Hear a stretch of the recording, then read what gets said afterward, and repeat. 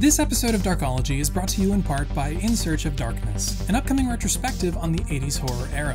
If you're like me and love that retro synth horror aesthetic, stay tuned till the end of the video.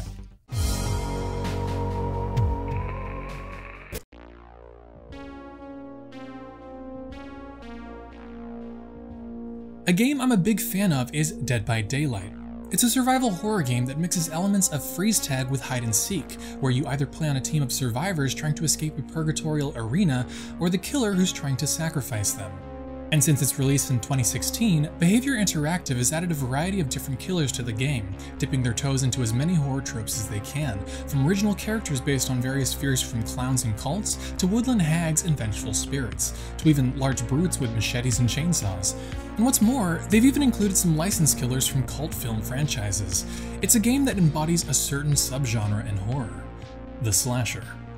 Yet out of all the killers who you can be pitted against, the one that I have the most fun with, and the only one that legitimately creeps me out when I see it, is the Shape. And it's not like the way in which he kills you is all that more severe than the others. It's something about the way he stares in the distance, patiently, quietly. It's got an unnerving quality, unlike the rest. Every horror fan has their favorites, and Michael Myers is one of mine. For me, he's one of the most interesting presences on screen, an enigma because he's not really a character. I find myself the most curious on what he's about, far more than most other slashers and horror movie icons. Indeed, he's one of the more mysterious and intriguing ones out of the bunch. But why? Is it simply because he's selectively mute? Is it the fact that his particular brand and flavor of horror is based around the human psyche, which we still know next to nothing about in the greater scheme of things? Is it his simple, subtle, and subdued design? Or is it just that killer horror synthedelic club track?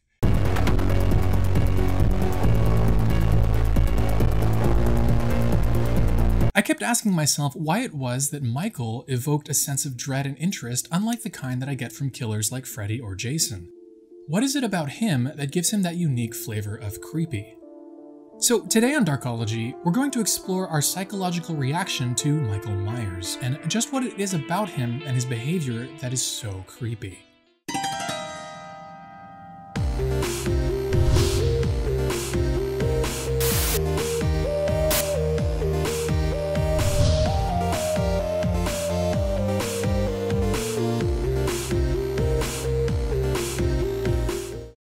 Michael Myers and Halloween are widely considered to be one of the first of their kind, inspired in part by the suspenseful work of Alfred Hitchcock, madmen characters like Norman Bates from Psycho, and the intimate horror of the Texas Chainsaw Massacre.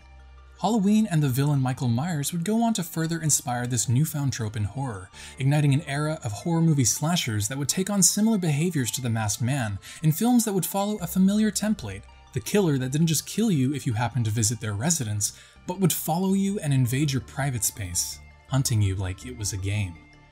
Indeed, if Psycho was an inspiration to the start of this new subgenre in horror, Halloween can be seen as the true beginning to the golden era of the slasher film, giving way to the success of other cult classics like Friday the 13th, A Nightmare on Elm Street, Hellraiser, She doesn't even go here! Child's Play, and Scream.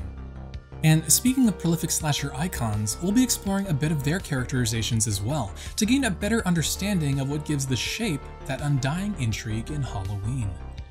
But the nature of sequels, spin offs, reboots, and retcons in Hollywood is notoriously messy.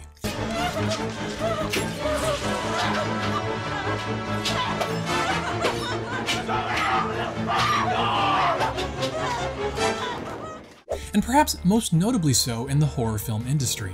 The Halloween franchise in particular has one of the most complicated and divided canons with multiple timelines that have diverging characterizations of the shape. So which version of Michael Myers do we analyze? For this episode, we'll only be focusing on the events and lore of the current canon, the original Halloween and its 2018 sequel. That means we're throwing explicitly supernatural, blood relation, and repressed psychosexual stuff out the window.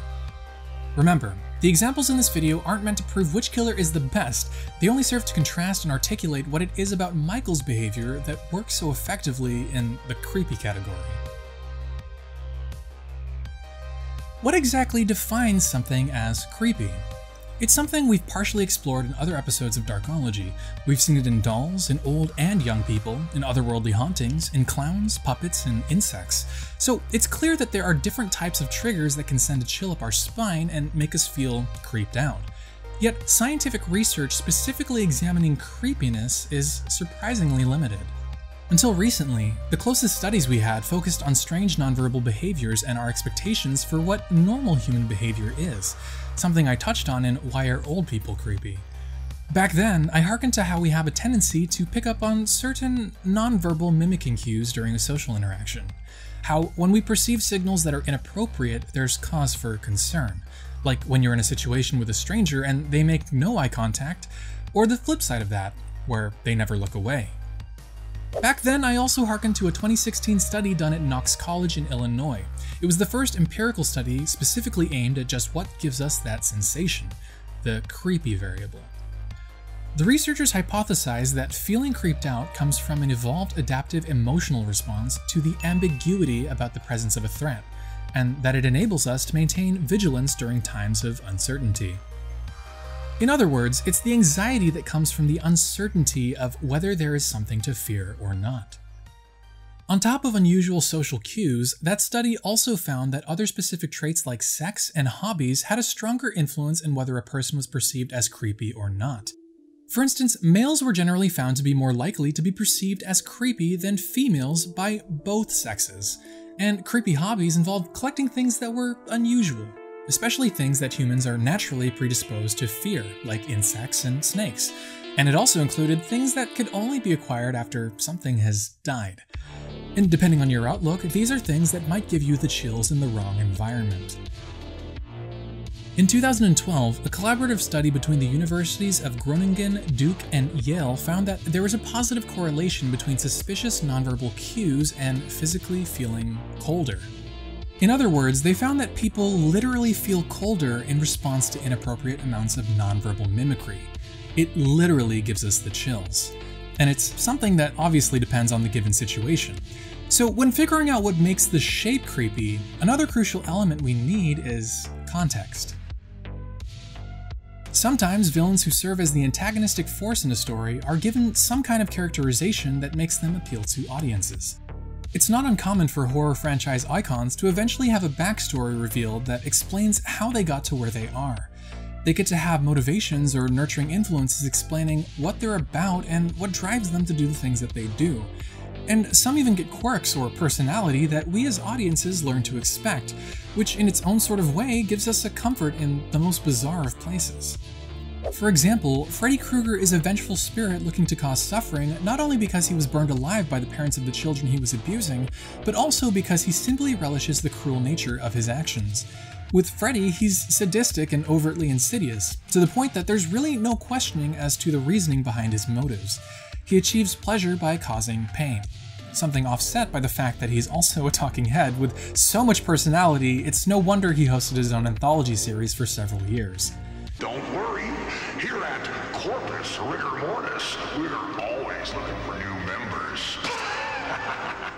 Jason Voorhees is a hulking supernatural undead brute. He was born with severe facial deformity, hydrocephalus, and mental disabilities, and as a child was bullied and drowned for it. He seems to kill not only because he hears his vengeful mother's voice in his head telling him to, but for revenge on the camp counselors that enabled his death. Leatherface, on the other hand, kills out of fear, not malice. Given his implied simple nature, you get the sense that if it weren't for the influence of his inbred cannibalistic family, he'd be rather innocent. Where are the kids? Where are they? Show me!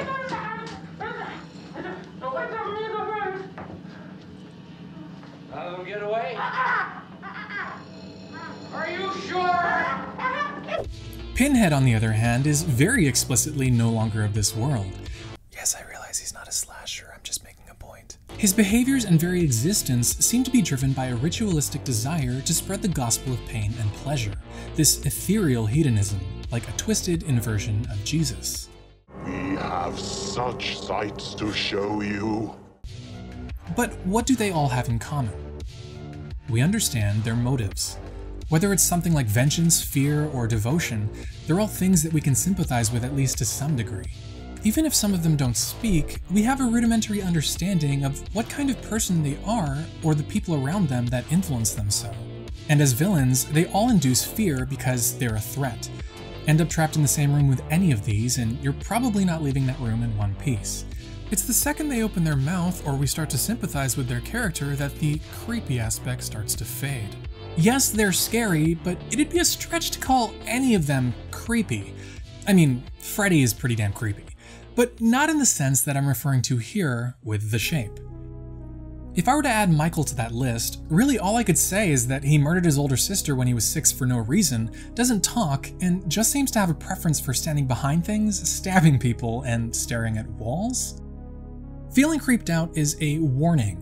It's different from a clear threat to physical or social harm. We feel creeped out when danger is unclear, uncertain, ambiguous. Michael is creepy. Like, actually creepy. Earlier, I mentioned that there were certain hobbies in the Knox study that were considered higher on the list of creepy traits. A big one that popped up was hobbies that involved watching. Michael Myers spends much of his time in the film simply watching. There's a foreboding aura of suspense whenever he's doing it, whether far away or up close with the sound of his breathing. In fact, the first few scenes where Laurie glances at Myers simply watching from the distance are particularly spine chilling because there's a sense of neutral mystique there. It's not with an over the top dangerous energy where there's a hulking monster swinging around a chainsaw, or a burnt man with a sinister smile waving with a clawed hand. It's subtle. What does this person want? There's something about that unending uncertainty that is more draining. And before you can ponder too much on it, you look again and it's not there anymore. Did I imagine that? What if I didn't? It's a psychological torment. You're not exactly thrown into fight or flight, you're near perpetually left in the state that precedes it. Suspense. Michael Myers is seemingly characterized by a motivation to return to his hometown of Haddonfield and kill. But why? This is where it gets interesting because yes, he doesn't speak, but unlike the other killers who don't, the story here doesn't give us an alternate route to look into his psyche. The context of what we're told about Michael prior to killing his older sister doesn't really add up to his behavior. There was no established external influence for why he did what he did. Not even a psychiatrist, Dr. Sam Loomis, can get a read on him. Michael just sat in his asylum cell for years afterwards, staring at the wall, inhumanly patient. This isn't a man.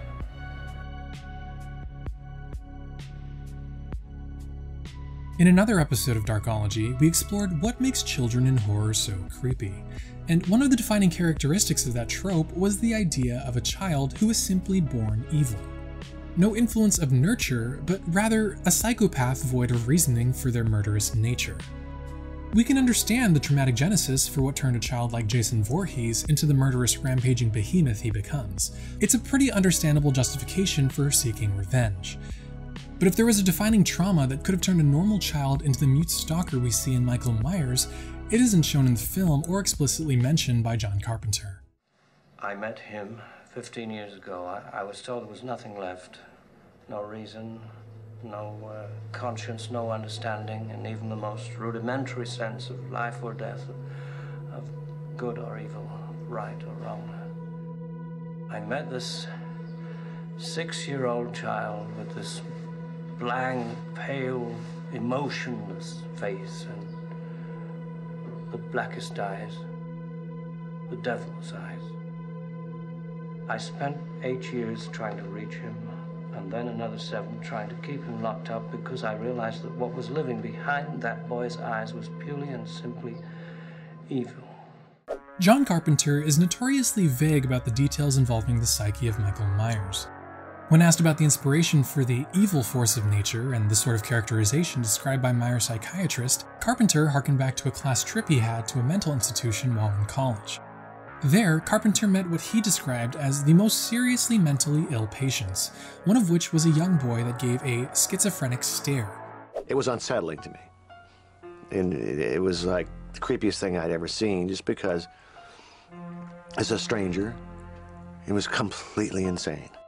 The point is, Michael Myers maintains an air of ambiguity in his behavior, a loose air of emptiness that lingers around him, despite having an official name and backstory.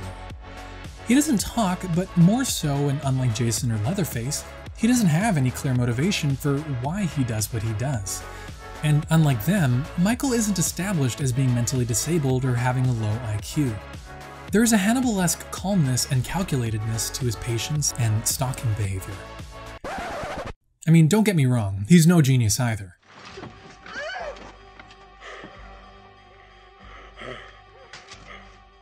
But despite that, he does possess intelligence, is aware, and chooses not to speak.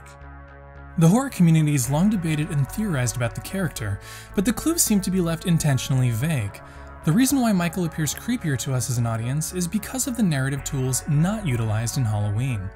John Carpenter intentionally leaves out key points in making a character sympathetic or relatable, something that often goes on to reduce the frightening aspect of a killer in other horror franchises. We do get a backstory, but how much does that backstory really do to tell us about Michael Myers the person? If anything, his backstory only serves to further eliminate and reduce any potential humanizing factors that might have existed. We can't relate to Michael, not in the least. His backstory is almost like a scapegoat, a false expectation to find some kind of humanity where there is none.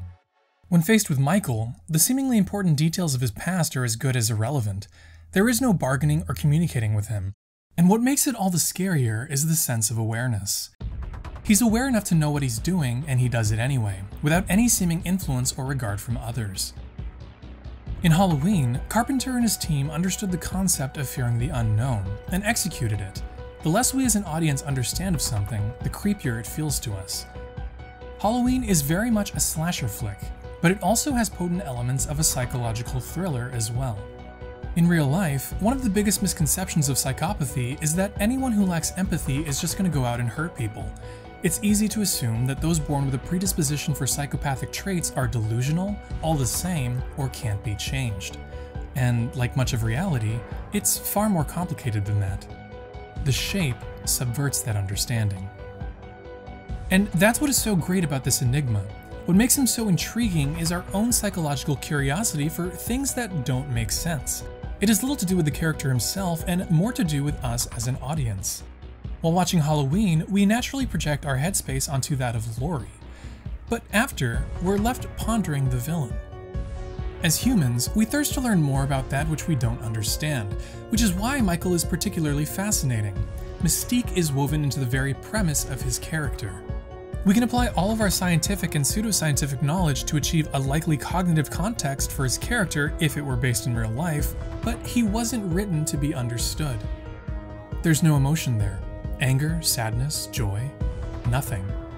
And I think that's why the 2018 film picks up from where the original left off, because that's supposed to be the case with Michael. It was what was so effectively chilling about him in the original.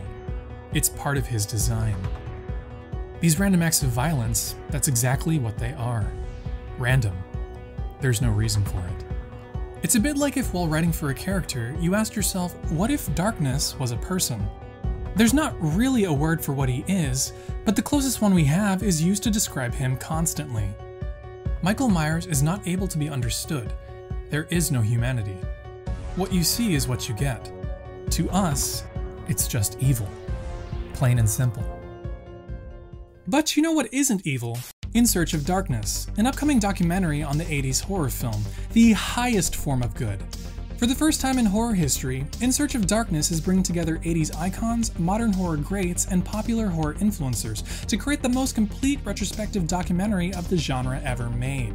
It's a project that I'm personally very excited about, and if you like my content and the aesthetic of my channel, I think you'll really like too. They've got interviews with iconic horror legends like Heather Langenkamp and Nick Castle. Oh, and they also recently got John Carpenter in on it.